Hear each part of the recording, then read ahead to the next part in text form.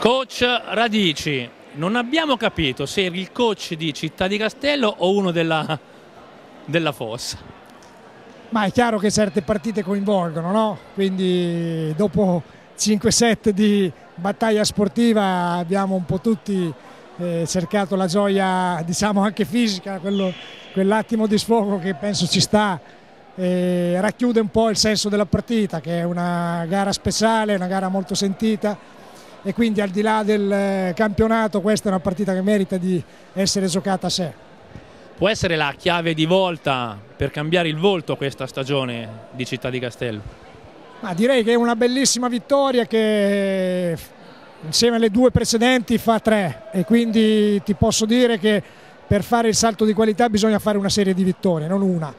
Certamente questa vittoria è un passaggio importante soprattutto perché è la vittoria del gruppo Sappiamo tutti che questa settimana la squadra ha dovuto sopperire l'assenza di due stranieri, non è stato facile preparare questo evento, tuttavia è venuto un risultato importantissimo per merito sia degli stranieri che veramente eh, ai quali va fatto un applauso particolare, ma di tutto il gruppo che come io avevo detto in preparazione della gara sicuramente dal punto di vista tecnico sta facendo dei passi in avanti importanti. Noda e Letonen hanno dimostrato un attaccamento importante a questa maglia, potevano evitare se volevano di giocarsela e invece hanno voluto esserci. No, ti dicevo, questi atleti hanno giocato quattro partite in una settimana, la quinta è quella di oggi per giunta al tie break, eh, hanno viaggiato questa mattina, hanno volato, erano a migliaia di chilometri da Città di Castello solo stamattina, quindi eh, hai sottolineato un aspetto giusto, importante, sono due ragazzi che stanno diventando castellani quanto noi. Marco Visentin, una regia da Oscar. Ma siamo stati bravi tutti, siamo stati bravi tutti perché ci abbiamo creduto fino all'ultimo, abbiamo dato tutto e siamo stati soprattutto bravi dopo quel passaggio a vuoto del terzo set a non mollare perché loro ci hanno messo molto in difficoltà ma noi, noi abbiamo risposto colpo su colpo e è stato davvero bello. C'è chi dice, e io non concordo, che, che, con la palla tra le mani sei uno dei migliori tre. Io direi che sei uno dei migliori due. Beh, grazie, beh, i complimenti fanno piacere, io cerco di fare il meglio possibile, insomma, se, se le cose vanno bene tanto meglio, insomma, io cercherò sempre di impegnarmi al massimo e di fare sempre meglio.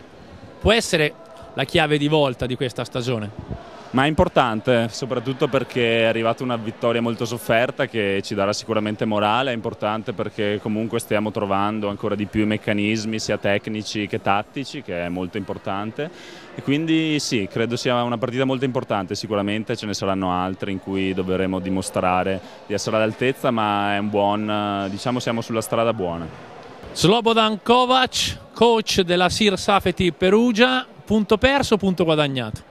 Secondo me punto perso. Secondo me punto perso perché abbiamo visto alla fine come loro hanno diciamo, gioito questa vittoria eh, che significa che hanno giocato contro la squadra più forte.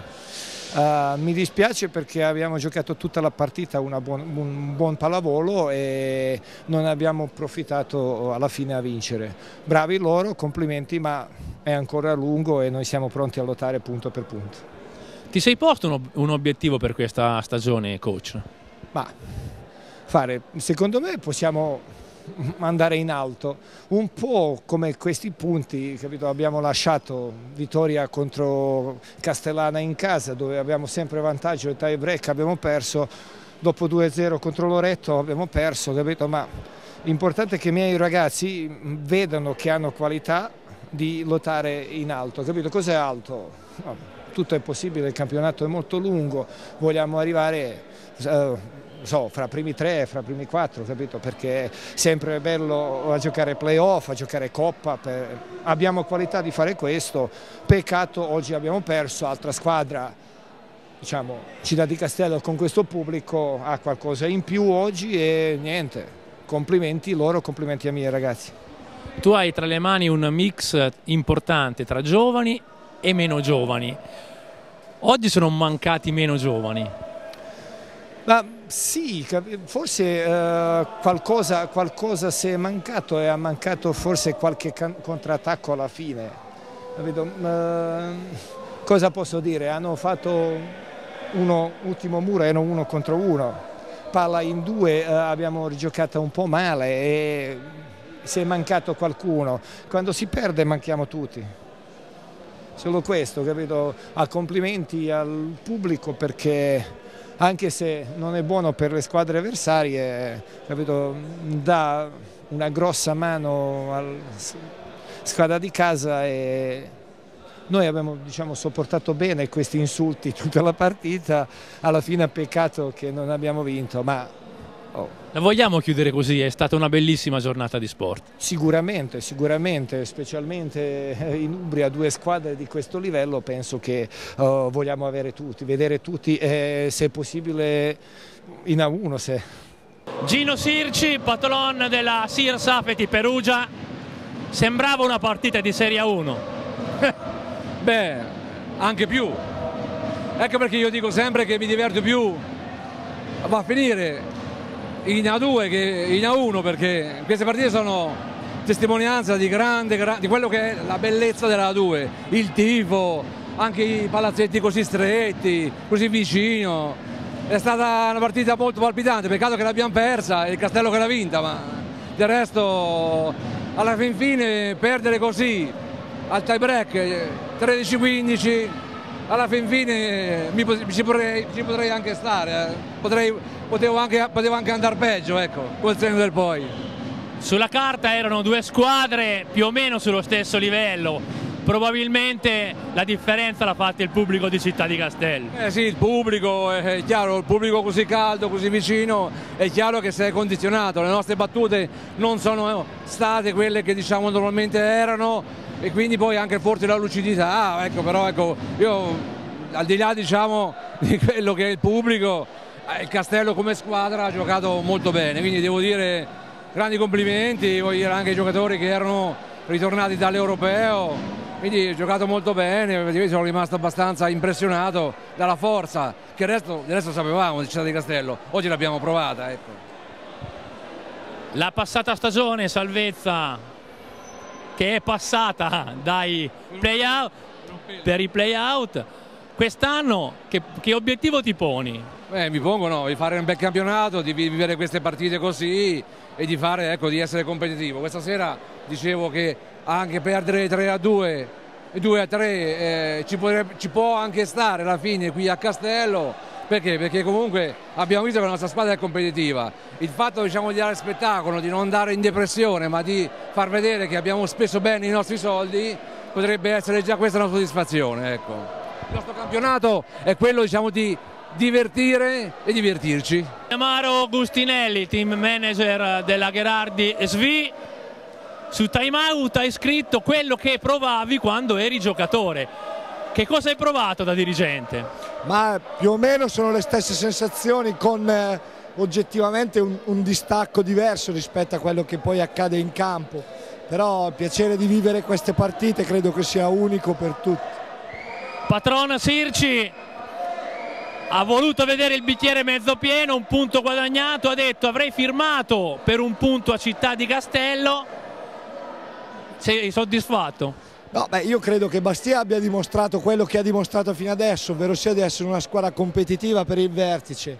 Io credo che ancora noi manchi qualcosa per poter eh, arrivare a quello che ci aspettavamo all'inizio del campionato, ovvero un'attenzione maggiore soprattutto su alcuni fondamentali come per esempio il muro di posto 4, questa sera su Tamburo abbiamo sofferto tantissimo, in battuta dobbiamo essere ancora più speculativi e se mi permettono i miei giocatori anche un pochino più intelligenti in alcuni momenti.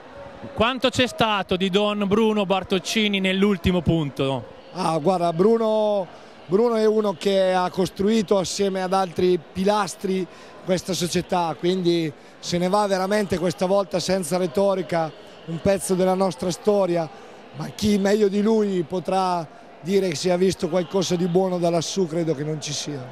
Probabilmente si è seduto vicino ad Andrea Joana a vedere la partita che era la loro partita. Sì, sinceramente incominciano a essere troppi seduti lassù, ti dico la verità. però è forse giusto pensare così, è giusto pensare positivo e, e sperare che queste due persone ci accompagnino fino alla fine questa stagione. Mauro Alcherigi, DS della Gherardi SV, eh, parlavamo con Valdemaro, quanto c'è stato dell'ultimo punto della Gherardi di Don Bruno Bartoccini? C'è stato di Don Bruno, c'è stato di questo palazzetto fantastico, questa squadra ha saputo reagire a un terzo set dove ha preso una mazzata terribile, un 9-0 che ha girato il set. E sono stati bravi a ritrovarsi e a chiudere questo set, una vittoria bellissima, spero che Bruno, a cui oggi ho mandato i saluti, il ciao quotidiano del prima partita, ci abbia aiutato. E soprattutto i, i, ragazzi hanno dato tutto, erano stremati alla fine della partita, soprattutto Noda e Lettonen, li devo ringraziare perché sono partiti questa notte alle 2 per rientrare in Italia e hanno dato veramente tutto, complimenti a Rosalba e alla sua squadra e a Radici per come si è condotto. Credo che è una bella vittoria, una grande squadra quella di Perusa, un tie che, che l'avremmo voluto sognare ed è avvenuto così bene, molto bene. C'è qualcosa che potresti fare in più per agganciare magari Secrate? Perché è vero, sono avanti, però il campionato è livellato. Beh, noi dobbiamo camminare così, abbiamo avuto tre battute d'arresto in casa, contro squadre come Segrate, Genova e Castellana, adesso dobbiamo guardare al campionato che facciamo, questa è una gara, adesso ci riposiamo due giorni, siamo molto stanchi, ricominciamo mercoledì e andiamo a preparare la gara di Sora. Io non guardo avanti, guardo la concretezza di una prestazione, in altre occasioni forse avremmo perso questa gara, stasera la squadra non ha mollato come è successo in altre occasioni, credo che è il passaggio decisivo per poter fare un campionato importante.